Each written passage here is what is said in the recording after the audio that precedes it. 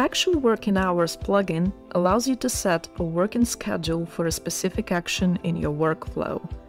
Select the action,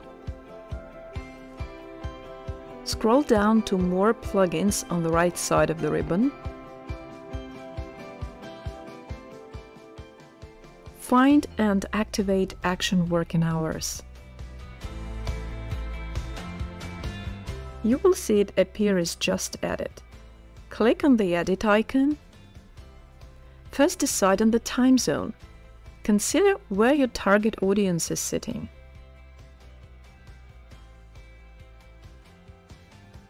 And adjust the time zone if necessary. Then, using the blue pluses, specify the time interval for processing for each day of the week. or mark certain days as non-working. Click Save and Close. Here is your working schedule for that action. It will not affect other actions of your workflow. If I start this campaign now, it will jump to Inviting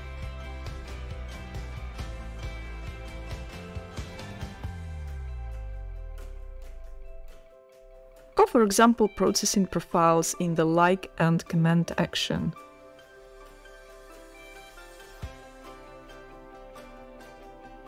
which is number two in my workflow. By setting the preference for my fourth action, I ensure that the follow-up messages are sent in the daytime without touching other actions in the workflow.